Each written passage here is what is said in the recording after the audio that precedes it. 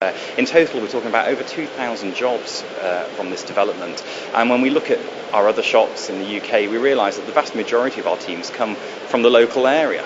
Well, what we'll do in Kirkby is to make sure the jobs go to long term unemployed people, work with a range of training providers and, and, and, local authority partners to offer a training scheme to reach those people, train them up and give them a guaranteed job in the store at the end of it. And actually, the exciting thing about Kirkby is it would be our biggest regeneration partnership scheme to date in the UK. We started eight years ago in Seacroft in Leeds, but this is one that we, we really want to work on. We think will have a tremendous impact on, on the unemployment rates in the local area. I think what we're trying to do is make this town better by investing in it. And what we've done since our purchase of the town centre is work with managing agents to bring more investment in. It's been successful. We've already had two high street names sign contracts recently for the St Chad's Parade. O2 are coming in, Game Station, and coming in starting to fit out units as well. So already we're seeing the catalyst of regeneration starting and people coming back in. Where we have had to, where uh, tenants have left, clearly we have to secure those buildings and we'll continue to work very hard to find new tenants for those buildings on short term lets where we can.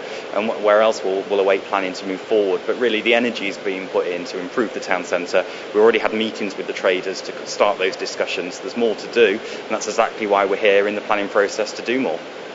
Other authorities, from Liverpool to Sefton, have pointed the finger at, at the scale of, of uh, redevelopment and regeneration and said it's wholly too large and will actually detract from major developments as we have here in Liverpool. Well, as reported recently in the Liverpool Post, Tesco's taken 30,000 square foot in the Liverpool One development, and we're proud of that investment in that scheme. It's an exciting scheme.